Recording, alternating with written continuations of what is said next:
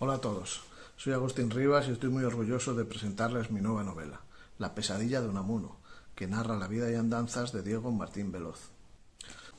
Me inspiré en la España de finales del siglo XIX y principios del XX, una época de grandes contrastes y convulsiones sociales. Diego Martín Veloz es un personaje complejo y contradictorio que refleja las luces y sombras de aquella época. La novela también explora temas como la guerra, la violencia, los resortes del poder y la atmósfera de los bajos fondos. Uno de los aspectos más interesantes de la novela es la relación entre Diego Martín Veloz y don Miguel de Unamuno, dos figuras antagónicas que representan ideas opuestas sobre España. Puedes encontrar el libro en todas las librerías locales y en las principales plataformas online.